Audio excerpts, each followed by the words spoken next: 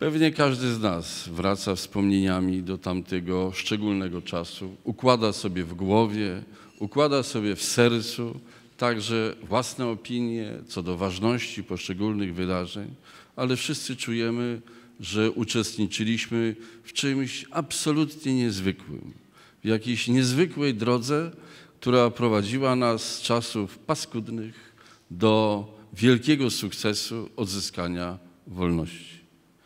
I pewnie wielu z nas wie, że z punktu widzenia trudnej historii Polski, trudnej historii całego naszego regionu, to mamy prawo, a chyba i obowiązek mówić o tym, że mieliśmy nieprawdopodobne szczęście. Ale szczęście sprzyja odważnym, sprzyja tym, którzy po nie chcą sięgnąć, którzy się nie boją, wykazują odwagę albo mądrość w odpowiednim miejscu i w odpowiedniej chwili. Dlatego dzisiaj wspominamy, ale także i dziękujemy osobom, które odegrały różną, ale ważną, piękną rolę w tym niezwykłym procesie, którego w jakimś stopniu uosobieniem czy symbolem jest data 31 sierpnia, wtedy, kiedy miały miejsce porozumienia sierpniowe, porozumienia gdańskie, szczecińskie w Jastrzębiu. Ale żeby można się było z kimkolwiek porozumieć, aby można było mówić o triumfie porozumienia, trzeba pamiętać o tych, którzy ciężko walczyli, którzy mieli zasługi w czasach, kiedy o żadnym porozumieniu mowy być nie było. Bo trzeba pamiętać, że te porozumienia sierpniowe, one były możliwe wtedy, kiedy ówczesna władza czuła, że słabnie.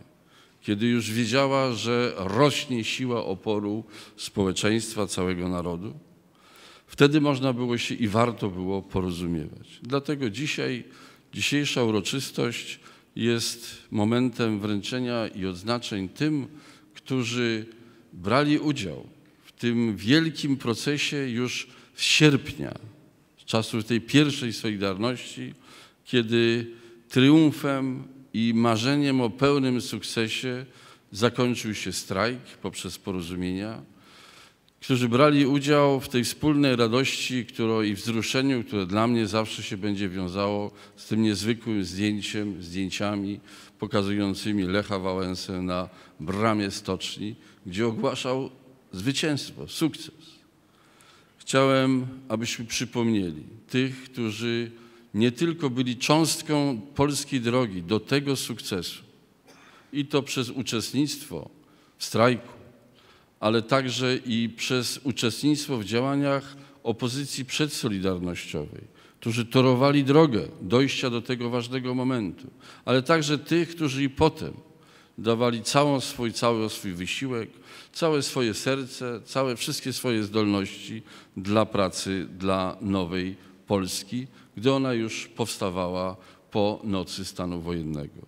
Dlatego z największą satysfakcją dzisiaj wręczałem odznaczenia osobom związanym z grupą inicjującą powstanie NZS-u. Wtedy, po strajku sierpniowym. Aż dziw bierze, że często są to pierwsze odznaczenia dla tej grupy osób. Chciałem powiedzieć, że odczuwam ogromny żal do losu, że nie mogę wręczyć tego odznaczenia Donaldowi Tuskowi, także Jackowi Kozłowskiemu, którzy byli w tej grupie.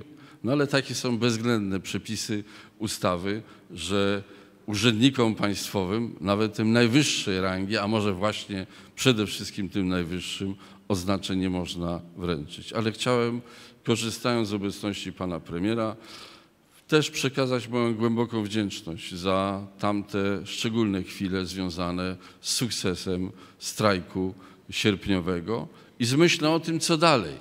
Co dalej z Polską Solidarną, co dalej z Polską niezależną w wymiarze studenckim, w wymiarze związkowym, w wymiarze ogólnonarodowym. Chciałem też w sposób szczególny podziękować tym, którzy mieli odwagę upomnieć się o wolne słowo, niezafałszowane słowo. Wszyscy wiemy i czujemy, że jest tym wielka myśl. Naprawdę, proszę Państwa, na początku było słowo. Dlatego dzisiaj, kiedy odznaczam kolegów drukarzy, kolporterów, kolegów redaktorów niezależnych wydawnictw i z tych z czasu przed Solidarności, z nowej, z innych wydawnictw i tych, którzy powstali i działali w okresie stanu wojennego, mam na myśli CDN na przykład, to myślę o, też o wspólnym wielkim szczęściu, że mogliśmy razem pracować nad tym, bez czego nigdy nie będzie lepszego świata, nie będzie lepszej Polski. Nad tym, aby wolna myśl powiązana z poczuciem odpowiedzialności za Polskę, za innego człowieka, za siebie samych także służyła przyszłości. Mam nadzieję, że te odznaczenia będą choć częściowo źródłem satysfakcji z tego, co jest najważniejsze w naszym wspólnym życiu, w naszych wspólnych dokonaniach, że będzie cząstką przypominającą tylko tą największą satysfakcję, którą dała nam historia, tą największą satysfakcją, źródłem największej radości i dumy jest i powinna być zawsze wolna Polska. Dziękuję bardzo.